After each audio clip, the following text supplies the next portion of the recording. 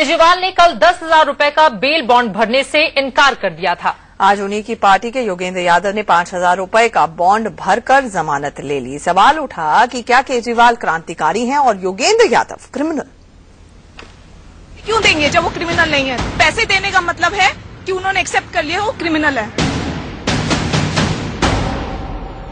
आज सुबह तिहाड़ में केजरीवाल से मिलकर बाहर आई उनकी पत्नी ने ये दलील दी थी।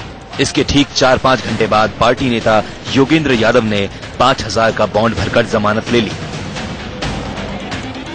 ऐसे में सवाल उठा कि क्या केजरीवाल क्रांतिकारी हैं, जिन्होंने पैसे भरकर जमानत नहीं ली और जेल चले गए, जबकि योगेंद्र यादव क्रिमिनल हैं, क्योंकि उन्होंने पैसे भरकर जमानत ले ली और घर चले गए।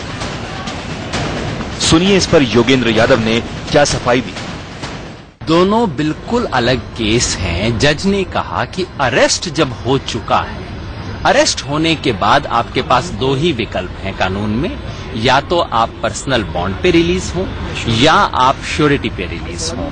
जबकि अरविंद केजरीवाल के केस में, चूँकि वो समन का केस था, उसमें तीन बार पहले एक दूसरा रूट यूज़ हो चुका था, जो कि था एक रिटर्न अंडरटेकिंग का। तो हम दरअसल आम आदमी पार्टी के आंदोलन की इस बार हवा निकल गई।